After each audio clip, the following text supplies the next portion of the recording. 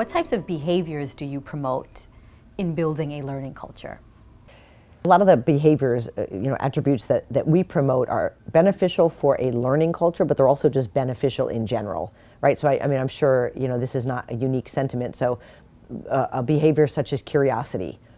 Right? Curiosity is something that can serve somebody well in just about any facet of their life. It also happens to be really necessary if you want somebody to be a good learner. Um, and then you also have things like optimism. You know, I'm one of those firm believers that if somebody's really optimistic, it helps them to appreciate why other points of view may be important, which means that they're, they've got more of an open mind and they're typically a really good learner, right? So a lot of them don't necessarily align strictly with learning or even necessarily mostly with learning, but they really are critical components of somebody having a learning mindset and therefore being a continuous learner.